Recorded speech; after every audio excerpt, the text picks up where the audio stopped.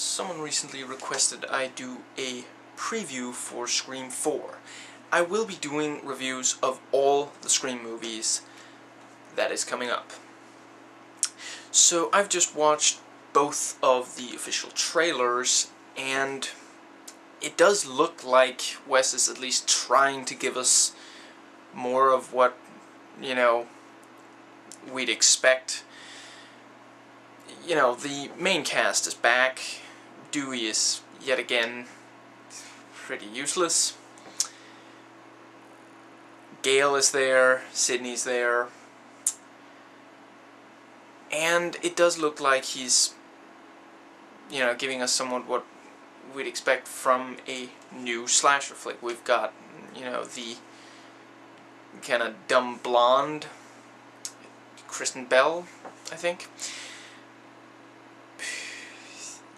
You know, we've got the the more extreme kills that they even mention in one of the trailers.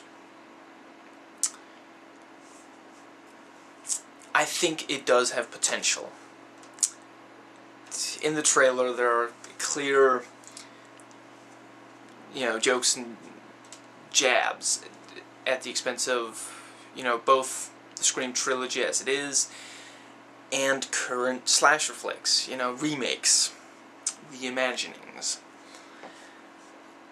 And, you know, even in the trailer, in one of them we have, you know, the joke of several, you know, possible killers. You know, who could it be, and several are implemented, you know, several possibilities for who the killer could be. And Wes Craven has shown that he can return to something years later and reinvigorate it, you know. I, for one, really like New Nightmare. And the relative decline of the Scream series I think it should go in a new direction. It should try something different from the first three because what he did with those, he's done it now, you know, and I would say each of those films got successively worse, even if the third one is still watchable.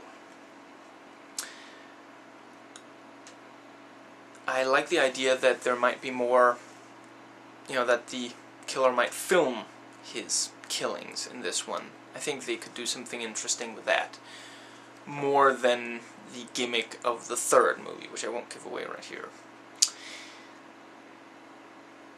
The original trilogy does basically, you know, do everything it should. You know, with the third one, we have going back to the original, you know, trying to change, you know, things that you took for granted originally now aren't quite what they seem to be. I don't think Wes can really do more with that. But the trailer does say a new generation, you know.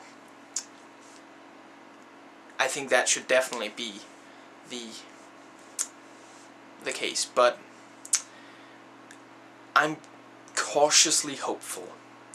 I think Wes can deliver on suspense, tension,